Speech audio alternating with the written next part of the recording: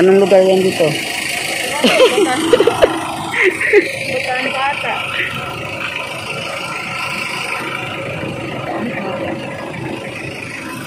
Mas maganda dyan yung makiato. No? Saan? Diyan sa taas. Umakyat ka dun.